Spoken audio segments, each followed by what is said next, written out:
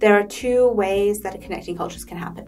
One is storytelling, where because of the time differences, the classes don't happen at exactly the same time. But what students will do is record videos or write letters to each other and exchange them. There's also a live lesson where um, the classes do line up, they happen at the same time. So essentially, they get a lesson, and students from both countries participate at the same time. And they together they complete a task um, that's learning about each other's countries or um, finding out about individual students and what they like and what they dislike.